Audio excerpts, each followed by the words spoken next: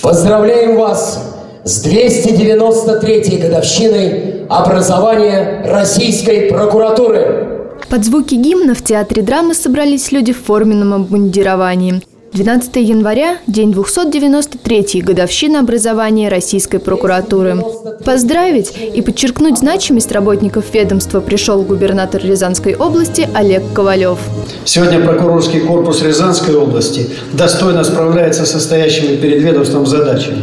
Благодаря компетенции, личной порядочности и принципиальности сотрудники прокуратуры заслужили высокий авторитет у жителей региона. И это не просто мои слова в честь праздника, а это показывает социология. Под звук аплодисментов за заслуженными наградами и благодарственными грамотами на сцену поднимались сотрудники правоохранительных органов, пять из которых совсем недавно занесены на доску почета.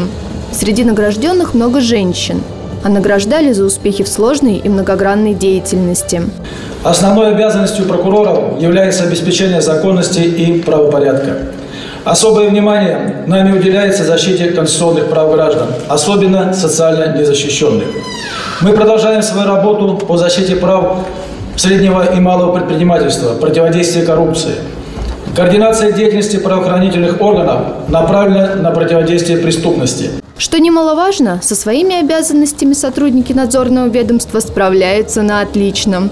Поэтому смело можно говорить о важности государственного и политического значения деятельности органов прокуратуры.